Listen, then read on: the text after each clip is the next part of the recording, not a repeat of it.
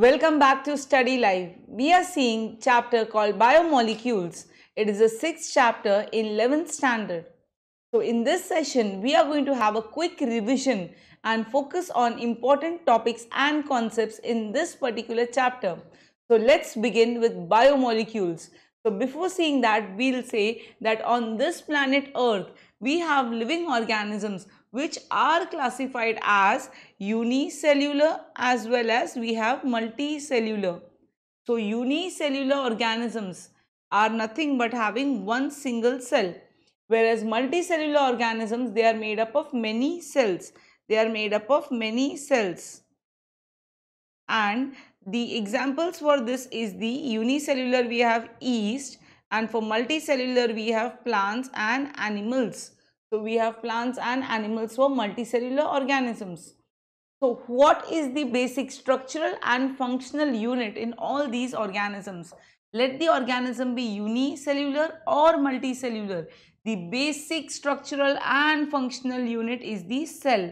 So cell is the basic structural and functional unit in all living organisms and this is containing numerous chemical molecules these chemical molecules are called as biomolecules.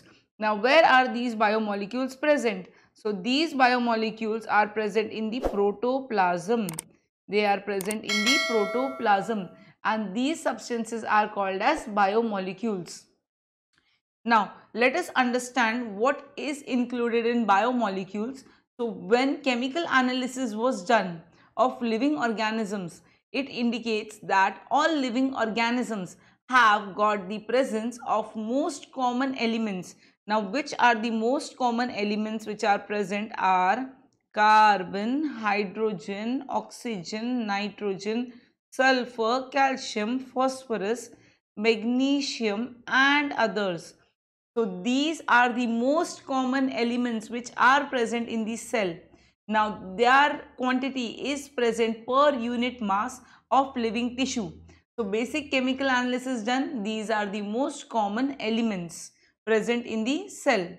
Now chemically, we will say that all living organisms, they are made up of three types of macromolecules. Those three types of macromolecules would be, we are going to see in this chart. So macromolecules, which are the molecules present in a larger quantity so biomolecules, they are basically classified as organic and inorganic. Whenever we are doing study of carbon and carbon compounds, it includes organic chemistry. So here in this macromolecules, these molecules are present in a greater quantity, greater amount. So what is included is simple sugar. And so when polysaccharide word is given over here, it means carbohydrate. It means carbohydrate and when we have the word here polypeptides these polypeptides are nothing but they are proteins so we have polypeptide we have got proteins and their monomers are amino acids so the uh, the monomer for proteins are nothing but amino acids and as polynucleotides we have nucleotide so for polynucleotide we have examples as DNA and RNA. Those are called as the nucleic acid. So these are the three major macromolecules. Now which are they? They are carbohydrates, they are proteins and they are nucleic acids. So these molecules are present in greater quantity.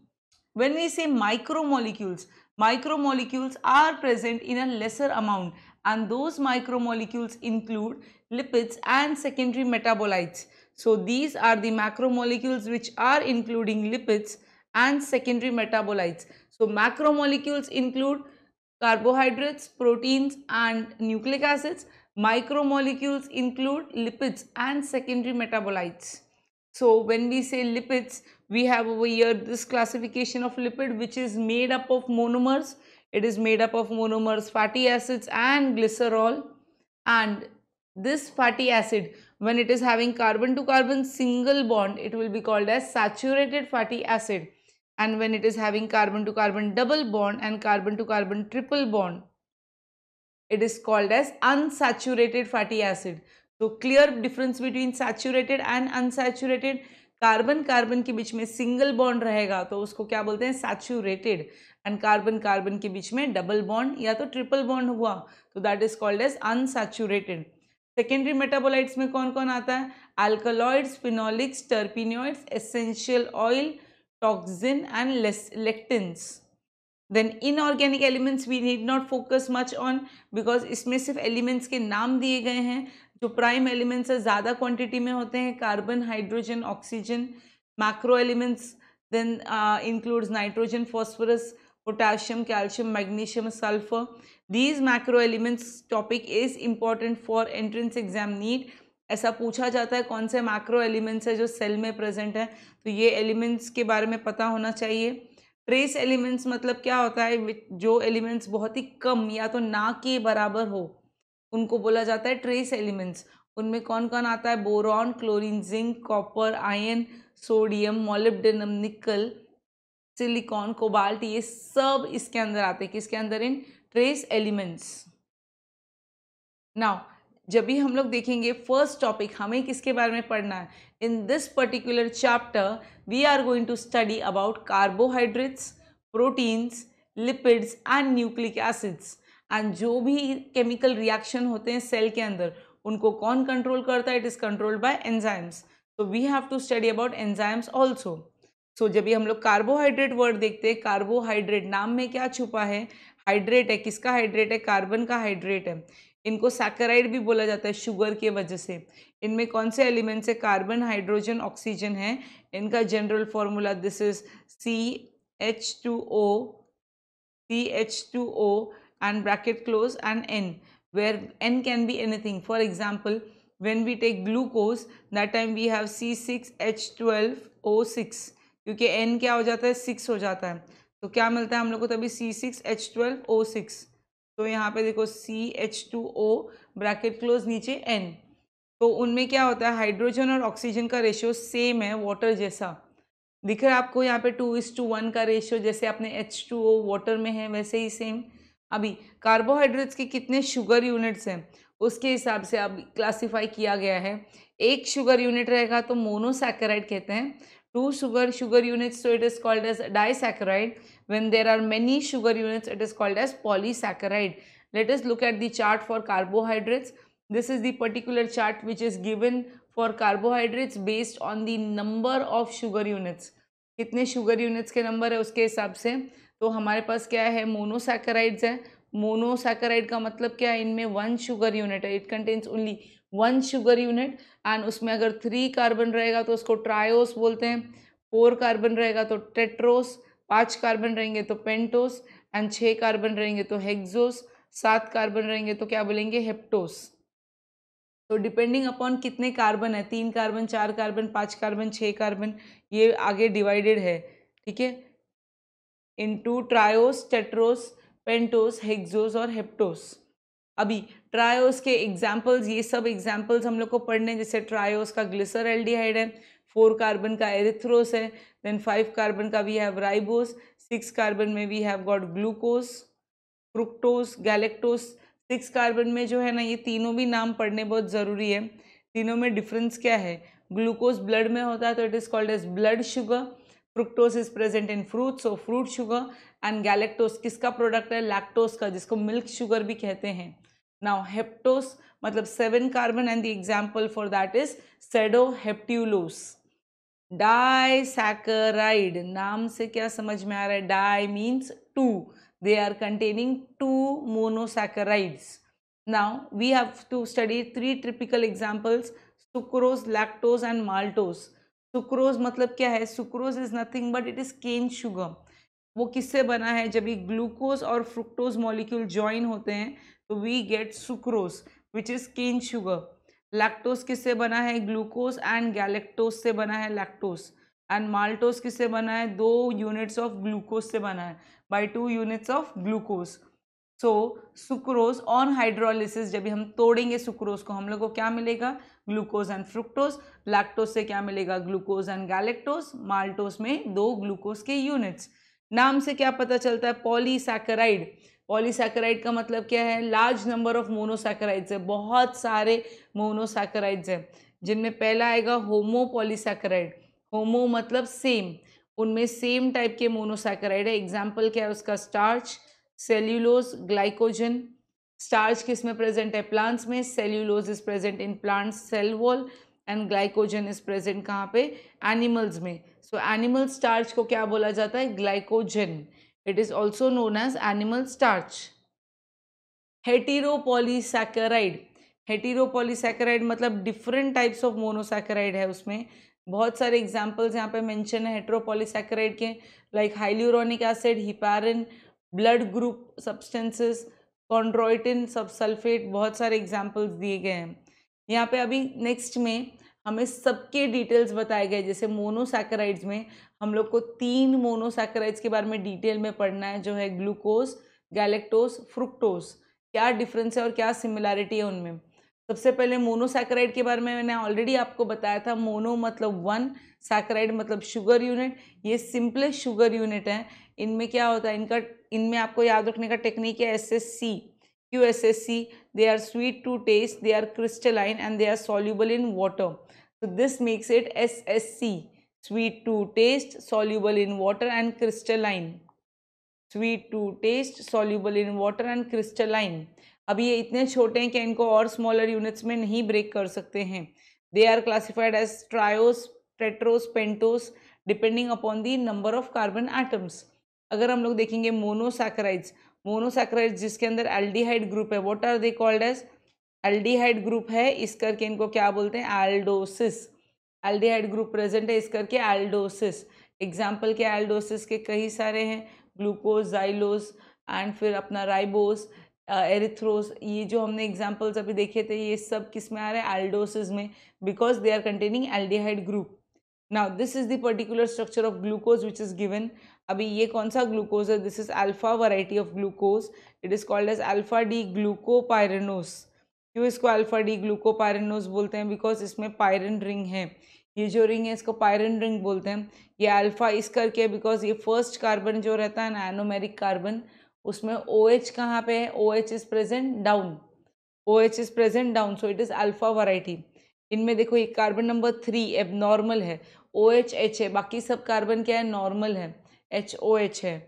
This was the structure of gluco this was the structure of normal glucose जब भी हम लोग glucose की बात कर रहे हैं तो ये ग्लूकोज किसमें आ रहा है? It was coming in aldoses but जब भी कीटोन ग्रुप रहेगा तो उसको क्या कहेंगे? कीटोसिस एल्डोसिस में अभी एग्ज़ाम्पल देखिए हमने ग्लूकोज तो यहाँ पे क्या आ जाएगा? फ्रुक्टोज वहाँ पे क्या देखा था? राइबोस तो यहाँ पे क्या आएगा? रिब्यूलोस वहाँ पे राइबोस था, यहाँ पे क्या आएगा? रिब्यूलोस अभी ग्लूकोज मोस्ट इंपॉर्टेंट फ्यूल है। कहाँ पे? इन लिविंग सेल्स कितना कॉन्सेंट्रेशन है इनका?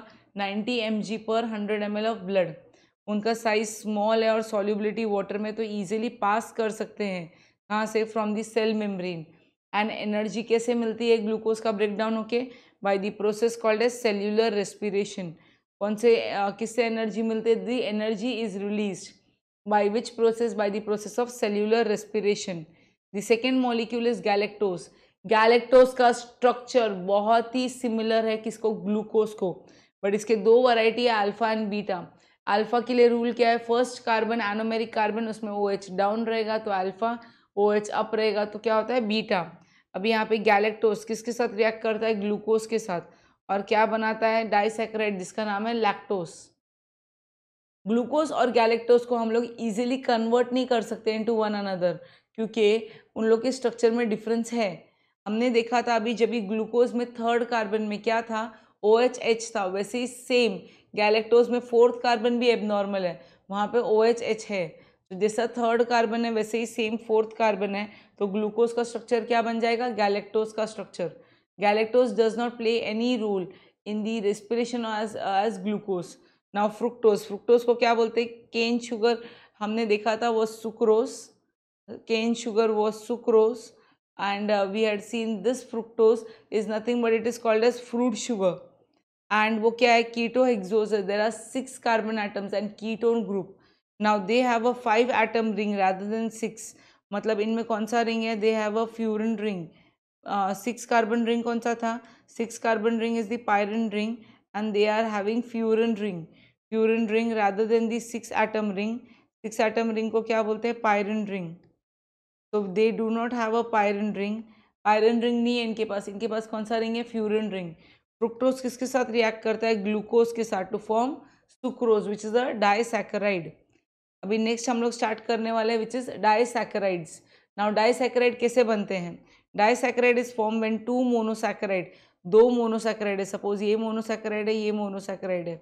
यहाँ से एच निकला और यहाँ से ओ एच तो what is remove is water and इनके बीच में जो बॉन्ड बनता है that bond is called as glycosidic bond which is present between two disaccharides So a, a, a, glycosidic bond forms and holds the two monosaccharide units together. मतलब वो दो monosaccharides को hold करने के लिए कौन सा bond बनता है glycosidic bond. Now sucrose, lactose and maltose are examples of disaccharides. Sucrose के बारे में क्या पता है हम लोग को it is a non reducing sugar उसमें फ्री एल्डिहाइड ग्रुप नहीं होता lactose and maltose these are called as reducing sugar because they have got free aldehyde group now disaccharides ना सॉल्यूबल है वाटर में मोनोसैकेराइड्स की तरह डाइसैकेराइड्स भी soluble है वाटर में but the molecules are too big to pass through the process cell diffusion से पास होने के लिए. The molecules are too big तो they do not pass through the cell membrane तो इस करके जो डाइसैकेराइड्स होते हैं ना disaccharides these disaccharides is broken down किसमें ब्रोकन डाउन होते हैं? इनटू मोनोसैकेराइड्स कहाँ पे ब्रेक डाउन होते हैं? By the process called as digestion अभी जो मोनोसैक्राइड्स बने वो सेल मेम्ब्रेन से पास होते हैं कहाँ पे? Into the cell which means अगर हमने डाइसैक्राइड खाया बॉडी को यूज़ करना है तो पहले डाइसैक्राइड को किसमें ब्रेक डाउन करना पड़ेगा? इनटू मोनोसैक्राइड एंड बाद में उसको बॉडी यूज़ कर पाएगी. तो let us see about the polysaccharides monosaccharides they undergo a series of condensation reactions मतलब यहाँ पे मोनोसैकेराइड्स में क्या होता है? कंडेंसेशन मतलब बहुत सारा रिमूवल ऑफ़ वाटर और क्या बनता है? पॉलीमराइजेशन से we have got the polysaccharide which is formed मतलब पॉलीसैकेराइड के अंदर क्या होते हैं? बहुत सारे मोनोसैकेराइड्स होते हैं. सो so, यहाँ पे हम लोग तीन एग्जाम्पल्स देखने वाले हैं. कौन से पॉलीसैकेराइड के? We are going to see about homopolysaccharide homopolysaccharide में पहला वाला कौन सा है? स्टार्च अब स्टार्च दो फ्रैक्शन से बना है which is amylose and amylopectin and पूरा का पूरा starch is made up of alpha glucose तो दिस अमाइलोस अमाइलोस क्या होता है? This is the structure of amylose जो कैसा है? एकदम लीनियर पॉलीमर है. एंड दिस इज़ अमाइलोपेक्टिन जो कैसा है? ब्रांच पॉलीमर है. Amylose is water soluble this is linear and it is water soluble ये कैसा है? वाटर सॉल्यूबल है. This is soluble in water but ये कितना परसेंट है? खाली ट्वेंटी परसेंट है। So amylose is just twenty percent where is amylopectin is branch amylopectin कैसा है? ब्रांच्ड है। एंड देन कैसा है? वाटर इनसॉल्यूबल है। It is not soluble it is water insoluble and कितना परसेंट है? It is eighty percent of the total starch मतलब ये कितना परसेंट है? एट्टी परसेंट तो ऊपर वाला ट्वेंटी परसेंट नीचे वाला eighty percent so because of that जो अपना पूरा का पूरा स्टार्च है, वो वाटर क्या है? इनसॉल्यूबल बन जाता है। Next we have glycogen glycogen भी क्या है? सिमिलर टू स्टार्च बट फ़र्क क्या है? उनमें बहुत सारे ब्रांचिंग साइड चेन्स है। ग्लाइकोजन किधर स्टोर होता है? एनिमल बॉडी में। कहाँ पे? In the liver and muscles जबकि सेल्यूलोस हम लोग देखेंगे it is a component of plant cell wall इसमें बीटा ग्लूकोज मॉलिक्यूल्स हैं। सेल्यूलोस किसकी तरह काम करता है? It forms the cell wall in plant cells और वो बहुत टफ है। सेल्यूलोज में टफनेस क्यों है?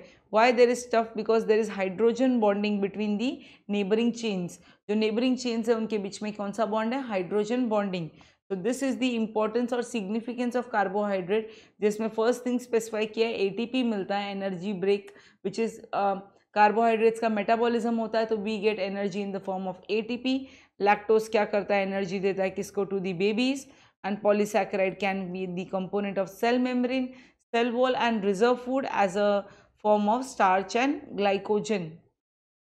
Let's move on to the second topic, which is the lipids. जब भी हम लोग लिपिड्स की बात करेंगे तो लिपिड्स में क्या याद रखना है? सेम कंपोनेंट्स है कार्बन हाइड्रोजन ऑक्सीजन बट उनका ratio two is to one नहीं है.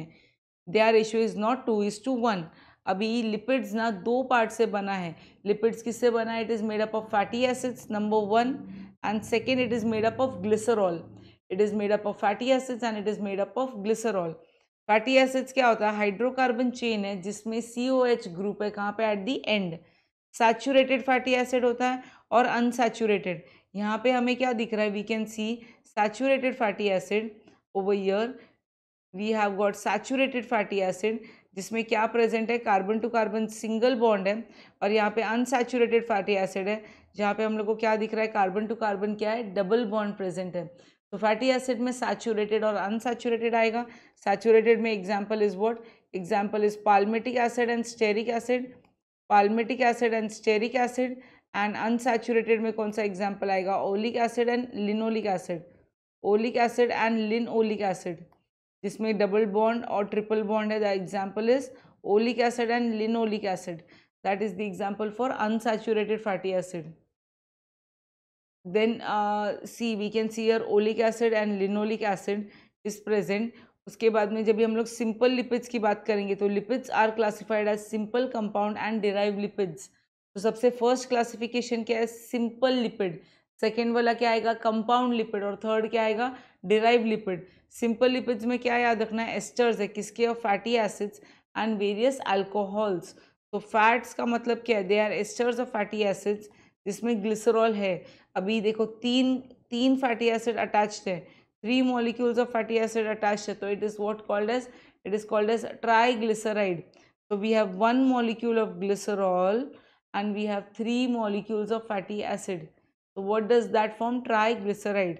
उसमें भी बोला है जो अनसैचुरेटेड होते होते हैं ना, कौन सा? अनसैचुरेटेड वाला carbon to carbon double bond वो कैसे होते हैं? ऑयल होते हैं लिक्विड एट रूम टेम्परेचर और जब भी carbon to carbon single bond रहेगा दैट इज़ नथिंग बट अपना घी, जो कैसे रहते हैं सॉलिड रहते हैं, कहाँ पे? At room temperature then we here what is given is importance of lipids और fats is given now next example we have is the wax wax is an another example of simple lipid ये कैसे होते हैं? They are long chain fatty acid and long chain alcohols इनमें long chain fatty acid और long chain क्या है? Alcohols है. ये बहुत अबंडेंट है ब्लड स्ट्रीम में. और फिर क्या बोला गया next waxes waxes are readily hydrolyse as fats they are solid at ordinary temperature ordinary temperature पे कैसे होते हैं? दे आर सॉलिड तो we have compound lipids compound lipids word का मतलब क्या है? इनमें ना फैटी एसिड्स के साथ और दूसरे ग्रुप रहते हैं। कौन से ग्रुप रहते हैं?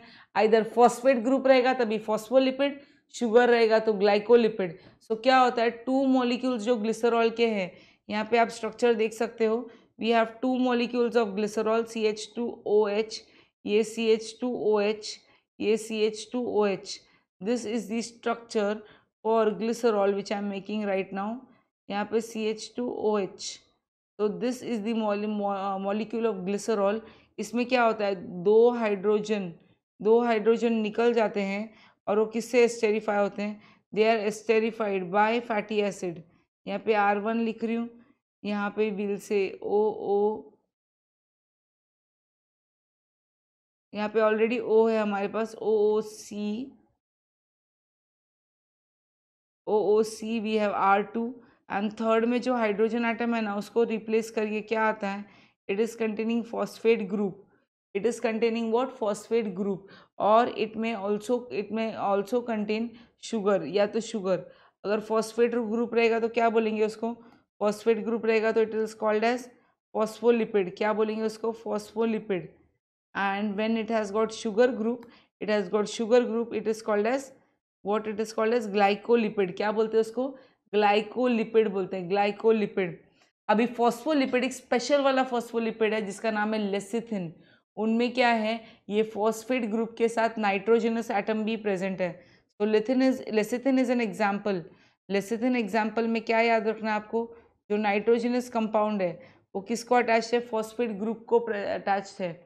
फॉस्फोलिपिड्स बिहेव एज हाइड्रोफिलिक उनमें आपको ये फिगर में दिखाई दे रहा है, नीचे। यहाँ पे जो हेड है head this is the head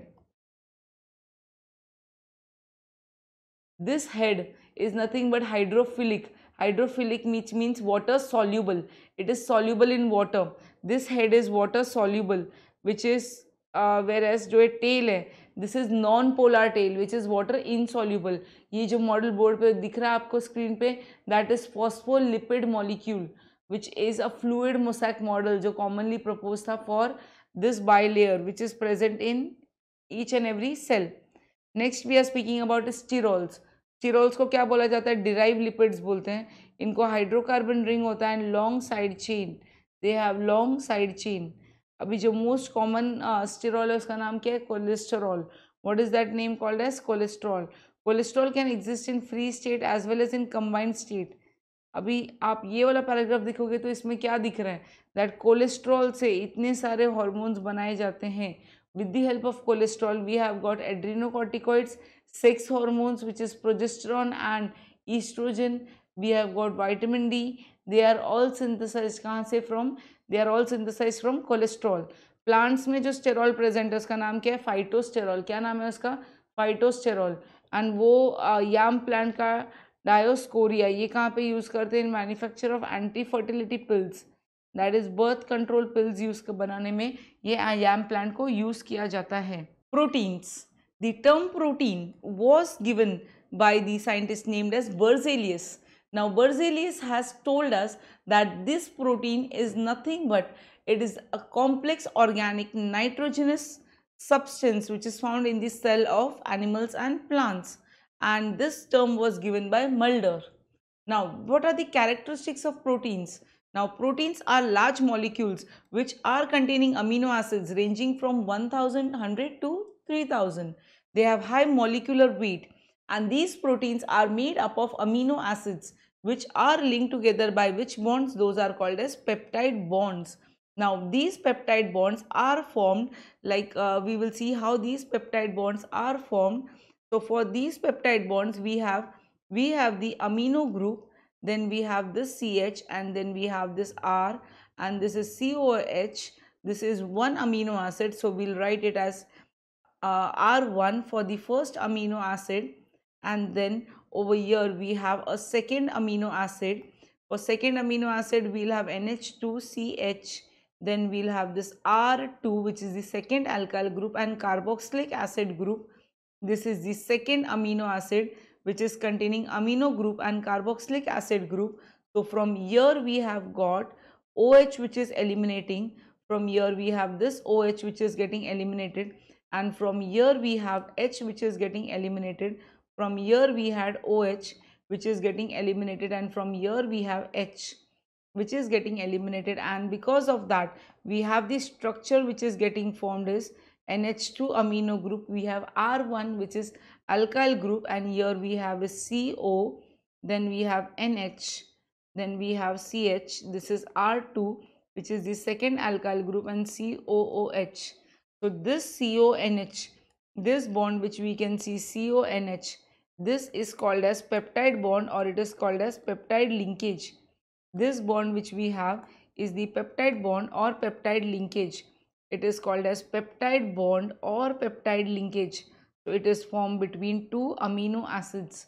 This peptide bond or peptide linkage is formed between two amino acids. So here we had the carboxyl group of one amino acid residue joins to the amino group by which bond? By this peptide linkage. Now, this protein molecule can contain any of the 20 naturally occurring amino acid types.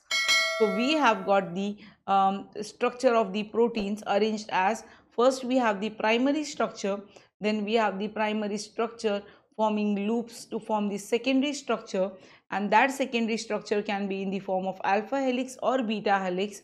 Then further they fold together to form the tertiary structure by bend or fold resulting in the formation of hydrogen bonds. And then we have the after the secondary structure we have they are linked together by intermolecular hydrogen bonding which is beta plated sheet.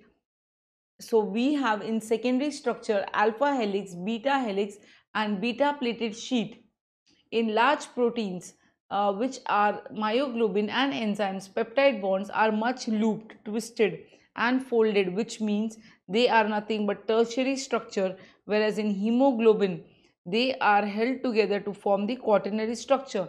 So the simple chain of amino acid is the primary structure. Secondary structure includes alpha helix, beta helix, beta plated sheet. Tertiary structure is when it is looped, twisted and folded back on themselves by disulfide bonds that time it is the tertiary structure whereas in quaternary structure it is quite more complex. Now, here we have to know that they are amphoteric in nature, which means they can react with both acids as well as, well as base. They also have the isoelectric point at which the sum total of positive charges is equal to the negative charges. Now, a protein, they can be acidic protein, basic protein as well as neutral protein. So, a protein which is containing basic amino acids where we had the alkyl group R group. If we have the basic group that will be called as basic amino acid and behaves as a cation. These are called as basic proteins. A protein which is rich in acidic amino acid that will be called as acidic protein. When we see classification of proteins, proteins are classified into simple proteins, conjugated proteins and derived proteins. What is the difference between simple protein, conjugated protein and derived protein? So simple protein will be containing only amino acids. Whereas the examples for this is we have can have globular uh, proteins like albumin and examples are egg albumin serum albumin and which are albumin which is present in pulses. Conjugated proteins they have got simple protein and a non-protein substance and that non-protein substance is called as the prosthetic group that non-protein part is called prosthetic group whereas in hemoglobin we have globin as the protein part and heme which is iron is the prosthetic group.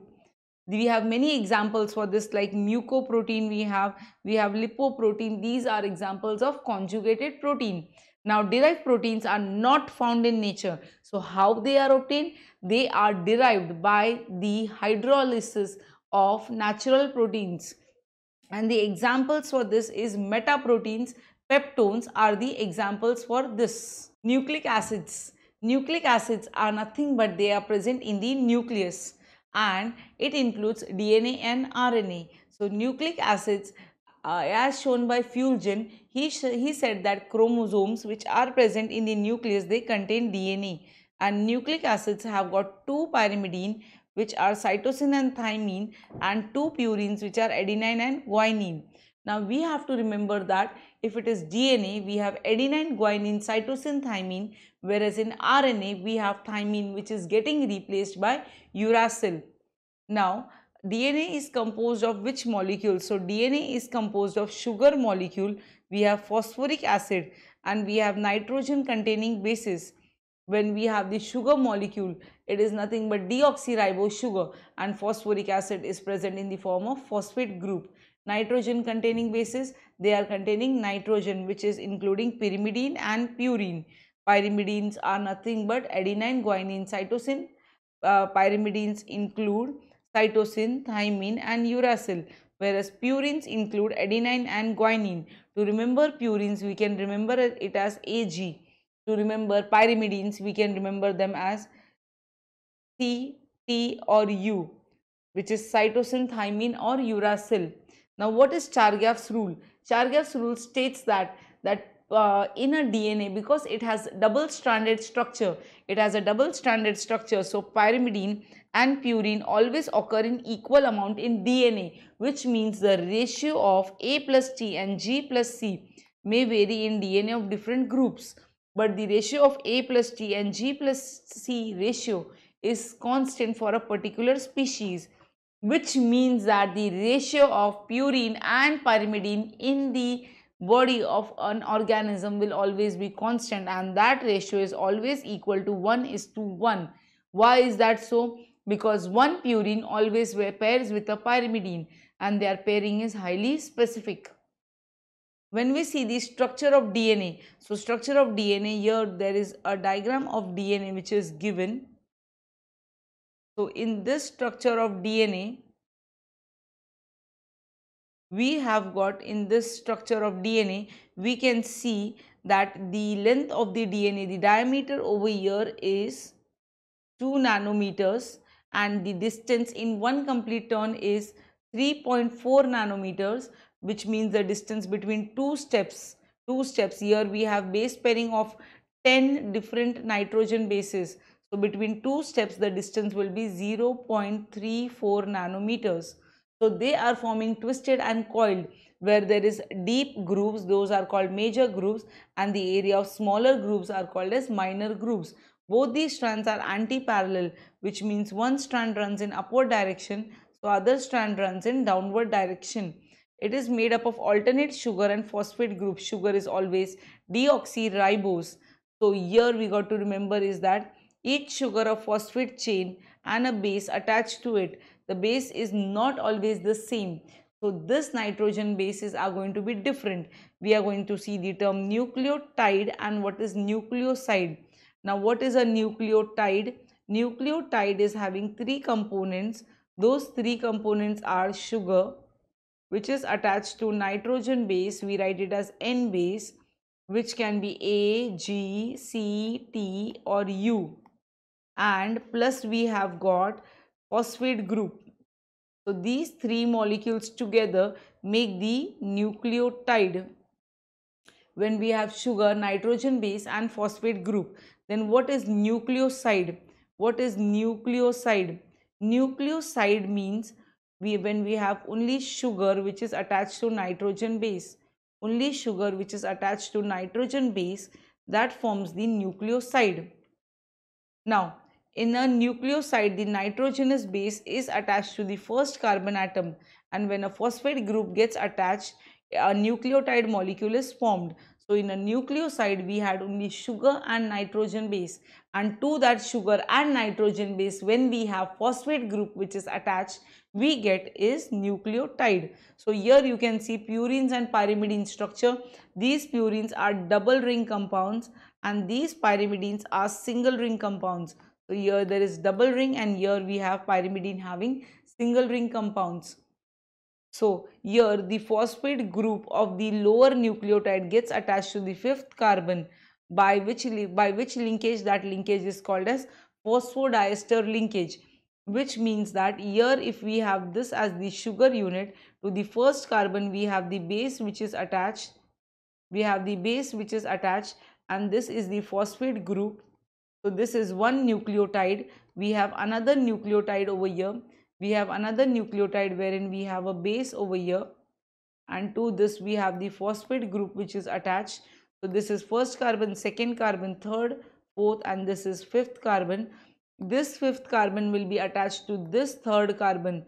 By which linkage? This linkage is called as phosphodiester linkage which is over here phosphodiester linkage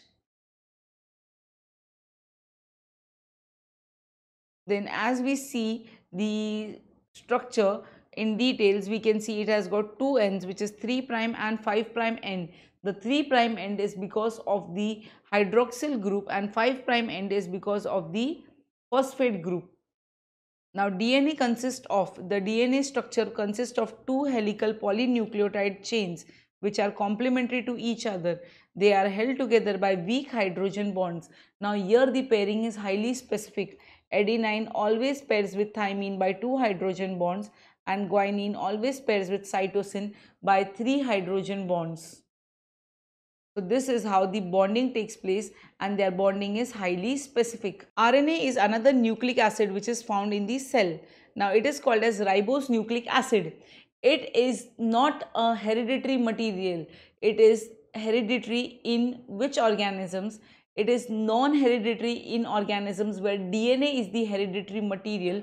So it is found to be hereditary in which organisms like tobacco mosaic virus. Whereas in our living organisms, in humans and other animals, DNA is the hereditary material and this RNA is used for protein synthesis. So we can say that this RNA is the hereditary material this RNA is always, this RNA is involved in protein synthesis and it is hereditary material in which, in which viruses like tobacco mosaic virus. Normally, RNA is single stranded as we had seen before, DNA was double stranded. But the RNA is double stranded in examples like reovirus and wound tumor virus. Here, this RNA is double stranded instead of being single stranded. So we'll see the types of RNA over here. In this types of RNA, before seeing the types, we need to know that purine pyrimidine ratio is not found because it is single stranded. It does not, it is not forming complementary base pair. It is straight and folded at certain regions. Now they are classified into three types. They can be messenger RNA, mRNA, they can be ribosomal RNA, rRNA or they can be transfer RNA or it is called as soluble RNA. So we have mRNA, rRNA and tRNA. This mRNA has the structure, it has a linear structure wherein it has got 5 prime end and it has got 3 prime end. This is the structure of mRNA. It is the largest and uh, you got to remember is that it is present only 3% whereas its molecular weight is several million which is around 5 lakhs is the molecular weight. When we call this as mRNA, its main function is for carrying the information about complete polypeptide chain which is called as cistron. So it is a messenger that is why it is called as messenger RNA and on this 5 dash end we normally have the initiation codon which is AUG whereas at the 3 prime end there is the presence of termination codon which can be A, uh, UAG, UGA or UAA. It can be UAG, UGA or UAA. These are the termination codons. When we see rRNA, this is a structure of rRNA. It accounts to 80 to 90% of the total cellular RNA. Now you can see it is not linear, it is folded at certain regions. Now it is folded due to intra-chain complementary base pairing.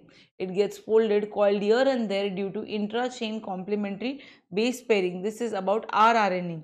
Whereas tRNA, it is composed of 70 to 80 nucleotides. This tRNA has the smallest molecular mass. It is having two different models to explain this. We have clover leaf model and we have hairpin model and uh, here we can see it is also single stranded but at some places due to complementary base pairing we can see this kind of structure which is getting formed. So this is model is called as clover leaf model clover leaf model. Now in this clover leaf model we can see this has got two arms. One is a short arm and one is the long arm. On the long arm we can say that on the long arm there is cca residue CCA residue and to this long arm we have got amino acids which are getting attached. So it is having amino acid attachment site. Then we have this first, this arm is called as T-C arm.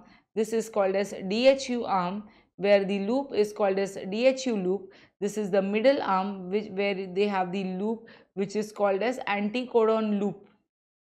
So here we can see another region which is the variable loop also present. So this is about the clover leaf model of tRNA. Now let us see at the, uh, the next topic which is enzymes.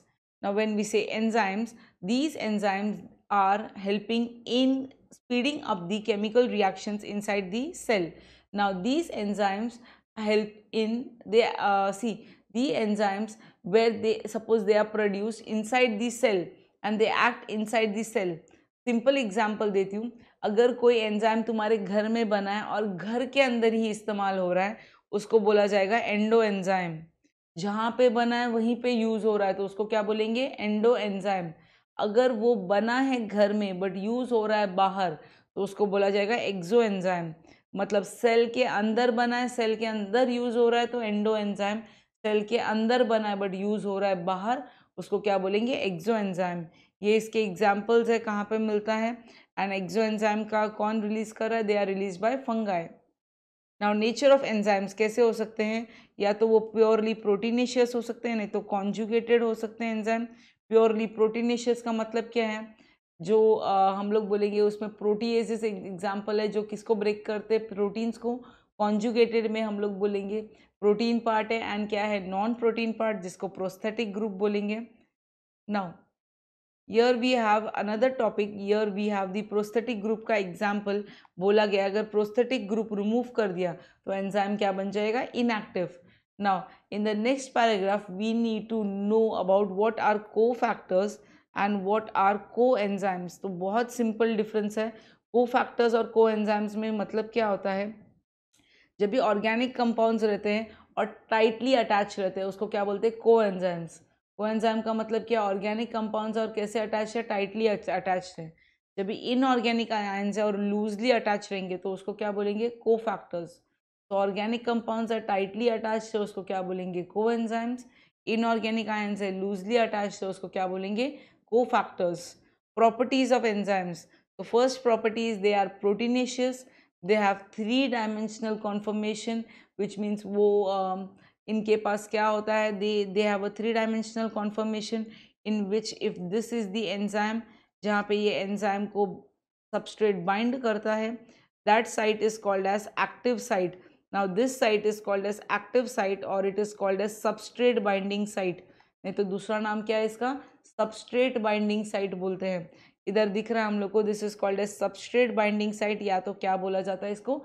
Active site now catalytic property में हम लोग ये बोलेंगे कि reaction की speed बढ़ाता है but reaction खत्म होने के बाद after completion of the reaction the enzyme release होता है और वो वैसे के वैसे रहता है। They remain unchange they remain unchange after the end of the reaction मतलब एक बार उसने प्रोडक्ट रिलीज़ कर दिया तो they is no change they remain unchange at the end of the reaction now we have a small quantity of enzyme जो catalyse कर सकता है। जैसे एक एग्जांपल दिया सुक्रेस ये एक एंजाइम है बट ये कितने times they can catalyse one lakh times this is one lakh times sucrose को कैटेलाइज कर सकता है of its own weight so क्या दिख रहा है? These enzymes can be reuse और ये बहुत थोड़ी अमाउंट में चाहिए होता है। स्पेसिफिसिटी मतलब सिंपल एग्ज़ाम्पल हम लोग को ब्रेक करना है। स्टार्च को और माउथ में तो एंजाइम कौन काम करेगा? अमाइलेस तो amylase can act only on starch it can not act on proteins ये एंजाइम्स हाईली स्पेसिफिक रहते हैं in their action they are highly specific कहाँ पे? In their action next we can see how यहाँ पे दिया गया है like what are the factors which are going to affect the enzymes जैसे एग्ज़ाम्पल यहाँ पे दिया हुआ है अगर हम लोग ने पीएच को इंक्रीज़ या डिक्रीज़ किया तो एंजाइम क्या हो जाते हैं? इनएक्टिव अभी जैसे मैं एक एग्ज़ाम्पल देती हूँ अगर हम लोग बात करेंगे स्टमक के पेप्सिन की सो so, पेप्सिन जो सीक्रेट होता है स्टमक में it is going to work only at an optimum pH of two अगर मैंने बोला वो टू पीएच वाले एंजाइम को इंटेस्टाइन में आके काम करने तो नहीं करेगा क्योंकि इंटेस्टाइन में ना ट्रिप्सिन होता है जो कौन से पीएच पे काम करता है? नाइन पॉइंट फाइव तो दोनों भी प्रोटीन डाइजेस्टिंग एंजाइम है बट इन इन लोग हाईली स्पेसिफिक है पीएच को पीएच फैक्टर से। टेम्परेचर तो ये वेरी इंपॉर्टेंट बिकॉज़ ये एंजाइम्स क्या होते हैं? Proteinaceous so at higher temperature which is sixty to seventy degrees और बिलो दे आर डिस्ट्रॉयड और they become inactive so most of the enzymes work at an optimum temperature कितना दिया हुआ है? Twenty to thirty five degrees nomenclature of enzymes so they are named as by adding ase आपको दिख रहा होगा ये सब एग्जाम्पल्स में। These are given by adding ase जैसे oxidoreductase which is catalysing oxidation reduction reaction transferase ये क्या करता है? ट्रांसफ़र करता है सर्टन ग्रुप को। हाइड्रोलेज ये ब्रेक करने का रिएक्शन करता है। हाइड्रोलिसिस करने का रिएक्शन लाइज लाइज का फ़ंक्शन है that they are involved in the elimination reaction जिसको जिसमें वो रिमूव करता है सर्टन एटम्स को। आइजोमरेज मतलब क्या इसमें कन्वर्ट करता है? आइजोमर में कन्वर्ट करता है। एंड लाइगेजेस और सिंथसे सिंथेटेज ये क्या करता है? दो अलग अलग मॉलिक्यूल्स को ज्वाइन करता है। तो उनके बीच में कौन सा लिंकेज कोवेलेंट लिंकेज फॉर्म करके। तो let us see over here आपको एग्जांपल्स दिखाई देगा मैकेनिज्म ऑफ़ एंजाइम एक्शन में। तो ये अपना सबस्ट्रेट है। जैसे फॉर एग्जांपल इसको मैंने लिया स्टार्च ये सबस्ट्रेट कौन है? स्टार्च यहाँ पे एंजाइम लिया फॉर एग्जांपल अमाइलेज लिया हमने। तो सबसे पहले क्या होगा? This substrate is going to bind to the enzyme ये बाइंड कर दिया एंड बाइंड कर दिया और क्या हो गया? ये एक्टिव साइट में बाइंड हुआ। Active site changes its shape for to better fit into the substrate उसी को बताया गया लॉक एंड की मॉडल यहाँ पे जो सबस्ट्रेट लिया उसको किसको लिया है? सुक्रोज लिया है। This sucrose is fitting into the enzyme कौन से मैनर में ई एस कॉम्प्लेक्स बन रहा है? ई एस कॉम्प्लेक्स मतलब एंजाइम सबस्ट्रेट कॉम्प्लेक्स कैसे फिट हो रहा है? ना लॉक एंड की मैनर और बाद में क्या हो रहा है? ये सुक्रोज का ब्रेक डाउन होकर क्या बन रहा है? One glucose and one fructose तो क्या दिख रहा है? प्रोडक्ट इज़ रिलीज़ इसको लॉक एंड की क्यों बोलते हैं? Where will say enzyme is the lock and substrate is the key तो ओनली द करेक्ट चाबी will fit into the correct lock वैसा हिसाब है यहाँ पे। अगर वो एक्टिव साइड पे प्रॉपर फिट होगा, कोई भी एंजाइम दूसरे की उसमें फिट नहीं हो सकता। तो this was lock and key model यहाँ पे हमारे पास एक और मॉडल दिया गया है इंड्यूस्ड फिट मॉडल ये इंड्यूस्ड फिट मॉडल में क्या दिख रहा है? ये एंजाइम ये ये अपना एंजाइम है and this is our substrate ये सबस्ट्रेट ये एंजाइम में फिट होने के लिए क्या करता है? इंड्यूस करता है शेप चेंज करता है। किसका शेप चेंज करता है एंजाइम का बाइंड हो गया, एक बार प्रोडक्ट बन गया, बाद में क्या हो गया रिलीज़ हो गया। तो इंड्यूस्ड फिट मॉडल में क्या याद रखना है? Enzymes are rather flexible structures active site जो है ना, वो अपना शेप चेंज कर सकता है, ताकि एंजाइम उसको प्रॉपरली बाइंड करे। एंड एक बार हो गया रिएक्शन कंप्लीट तो क्या होगा? Final form and shape is determined एक बार प्रोडक्ट रिलीज़ हो जाएगा तो वापस वो सेम शेप पे आ जाएगा। तो एंजाइम एक्टिविटी किससे इफ़ेक्ट होते हैं? बाय कॉन्सेंट्रेशन से इफ़ेक्ट होते हैं। अभी यहाँ पे आपको ग्राफ दिखाई दे रहा है। जैसे नो एंजाइम रहेगा सो दी प्रोडक्ट तो आपको क्या दिखाई देगा? एक्टिविटी कम है। वन टाइम ज़्यादा एंजाइम रहेगा तो ज़्यादा थोड़ा सा बढ़ गया। एंजाइम का कॉन्सेंट्रेशन बढ़ा है one next time so we can see the reaction is ज़्यादा मिल रहा है प्रोडक्ट का। एंड और एंजाइम बढ़ा है तो we can see we have more better product so what we can say here it is directly proportional. Here you can see as the substrate concentration is increased the speed of the reaction is increased. Enzyme ka concentration enzyme ki concentration. So rate of the reaction is also directly proportional to the square root of the concentration of the enzyme. So here we have the square root of the concentration of the enzyme it is present to the square root of concentration of enzyme the rate of the reaction. तो यहाँ पे हम लोग को दिख रहा है rate uh, को इंक्रीज या डिक्रीज कर सकते हैं by concentrating the enzymes next is the temperature temperature हमने क्या देखा? रिएक्शन बेस्ट कभी होगा बॉडी टेम्परेचर में which is what thirty seven degrees now the rate of the chemical reaction increase होता है by the rise in temperature but ये limited range of temperature पे है. एंजाइम्स डी नेचर हो जाते हैं कभी अबाउ फोर्टी डिग्रीज वो काम करना बंद हो जाते हैं। Next is here you can see this is the temperature and यहाँ पे दिख रहा है ऑप्टिमम टेम्परेचर कितना था? थर्टी सेवन डिग्रीज और ज़्यादा बढ़ जाए फोर्टी डिग्रीज के अबाव जाए तो एंजाइम क्या हो जाता है? डी नेचर हो जाता है। इफ़ेक्ट ऑफ़ पीएच तो हम लोग ने यही देख लिया। Every enzyme has a different optimum pH stomach का रहेगा तो एसिडिक रहेगा इंटेस्टाइन करेगा तो बेसिक तो वही दिया हुआ है ऑप्टिमम पीएच तक रिएक्शन फास्ट रहेगा, अगर पीएच बढ़े या कम हो तो रिएक्शन क्या हो जाएगा? स्लो डाउन हो जाएगा। अदर सब्सटेंसेस जो अदर सब्सटेंसेस हेल्प करते हैं या मदद करते हैं, उनको क्या बोलते हैं? They are called as coenzymes activators and inhibitors we have already seen coenzyme activator मतलब स्पीड बढ़ाने वाला which increase the enzyme activity they are called as activators और जो स्टॉप कर रहा है रिड्यूस कर रहा है, उसको क्या कहेंगे हम?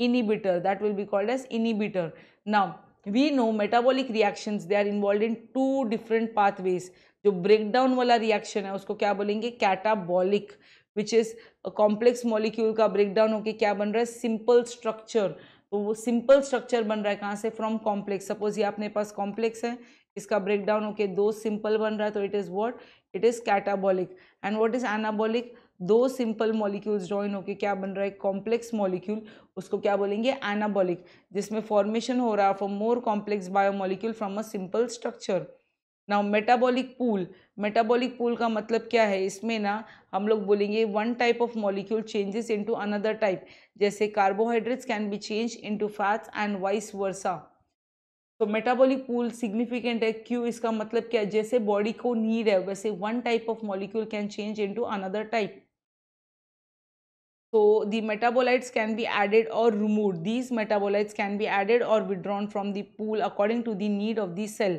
इसकी वजह से कौन से दो रिएक्शंस होते हैं बॉडी में? कैटाबॉलिज्म एंड एनाबॉलिज्म वो मेंटेन करता है homeostasis in the cell as well as the whole body तो यहाँ पे आपको फिगर में दिखाई दे रहा है that what is the catabolic and anabolic reactions जिसमें ये कार्बोहाइड्रेट्स का ब्रेकडाउन होकर क्या बन रहा है? Glucose that is a catabolic reaction lipids का ब्रेकडाउन होकर बन रहा है। ग्लिसरॉल फैटी एसिड्स, ये भी कैटाबॉलिक है जिसमें ब्रेकडाउन हो रहा है। प्रोटीन से अमीनो एसिड्स बन रहा है। सो ये ऊपर का पूरा पार्ट क्या है? कैटाबॉलिक मतलब ब्रेकडाउन। ये नीचे वाले पार्ट में क्या हो रहा है? सिंथेसिस हो रहा है। स्मॉल मॉलिक्यूल्स फॉर्म होके कॉम्प्लेक्स बन रहा है। सो so, ये एनाबॉलिक रिएक्शन है। नीचे वाले कौन से? Anabolic reaction so this is about the metabolism we have the S M S which is the secondary metabolites क्या होते हैं? They are produced by an organism but उनको खुद को उसकी ज़रूरत नहीं होती है। उन लोग एक्स्ट्रा चीज़ें बनाते हैं। तो जो ऑर्गेनिजम्स हैं, जो खुद के लिए एसेंशियल नहीं है ग्रोथ डेवलपमेंट एंड रिप्रोडक्शन के लिए बट वो एक्स्ट्रा बनाते हैं। उसको क्या बोलेंगे हम? सेकेंडरी मेटाबोलाइट्स जैसे कौन बनाता है ये? बैक्टीरिया फंगा एंड प्लांट्स तो सेकेंडरी मेटाबोलाइट्स में we have different examples based on their chemical structure और बेस्ड ऑन देयर कॉम्पोजिशन नहीं तो नेक्स्ट हम लोग देखेंगे सॉल्युबिलिटी के हिसाब से। तो these secondary metabolites have three main groups कौन से थ्री मेन ग्रुप्स है? First is the terpenes the second is the phenolics and the third one is nitrogen containing compounds now इनमें क्या होता है? टर्पीन्स में मेनली कार्बन एंड हाइड्रोजन होता है। They are made from mevalonic acid फिर उसके बाद में फिनॉलिक्स के अंदर क्या होता है? They are containing benzene ring hydrogen and oxygen and nitrogen containing compounds they may contain sulphur तो यहाँ पे इकोनॉमिक इंपॉर्टेंस दिया सेकेंडरी मेटाबोलाइट्स का जो हम लोग को प्लांट से मिलते हैं और जो एक्स्ट्रा सब्सटेंसेज है, जो हमारे लिए यूजफुल है they are not useful for the plant but yes they are useful for us तो in this way we get secondary metabolites from plants animals we can say plants के लिए और bacteria फंगा यहाँ से मिलता है. सम एग्जाम्पल्स हम लोग देख लेंगे तो यहाँ पे देखो this example given is morphine जैसे पेपर सोमेनिफेरम से मिलता है, जो पेन किलर है, बहुत ज़्यादा कोई सीवियर पेन हो तो ये सेकेंडरी मेटाबोलाइट है मॉर्फिन और क्या एग्जाम्पल्स है? एल्कलॉइड निकोटिन जो टबैको प्लांट से मिलता है, ये रिक्रिएशन एंड स्टिमुलेशन करने के लिए, जो डिप्रेस्ड रहता है, उसका माइंड को स्टिमुलेट करने के लिए. फ्लेवर्स है फ़ूड कलर्स है, जो यूज़ होता है food preference So these are all about the secondary metabolites which are produced extra by the organism and they are not required for their growth, development or reproduction. So with this we complete our topic on biomolecules. So we have seen all the concepts in very quite details. So that's all for this chapter. For more videos, please stay tuned with Study Life. Thank you.